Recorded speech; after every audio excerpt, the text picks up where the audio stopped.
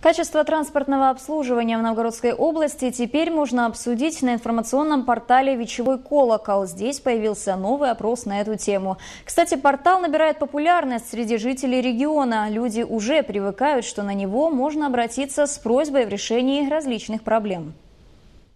Портал «Вечевой колокол» заработал в Новгородской области этим летом. За помощью сюда обратились тысячи жителей региона. Проблема, которую озвучил депутат городской думы Илья Довгий, решили даже раньше положенного на рассмотрение заявки срока. Брусчатку в историческом центре Великого Новгорода привели в порядок в считанные недели. Мы с коляской гуляли уже несколько лет по этому участку дороги.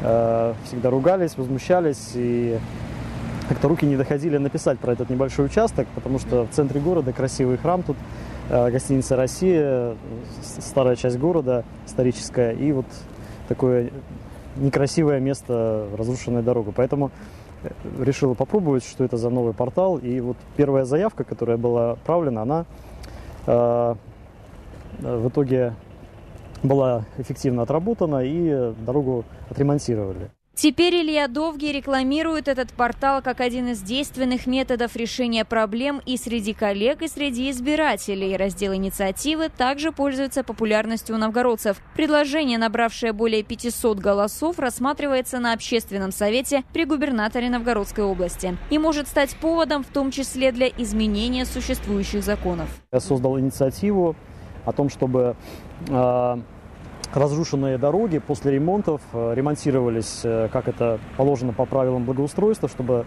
доработать нормативную базу и как-то заставить э, подрядчиков, заставить собственников сетей восстанавливать дороги, чего у нас, к сожалению, не происходит.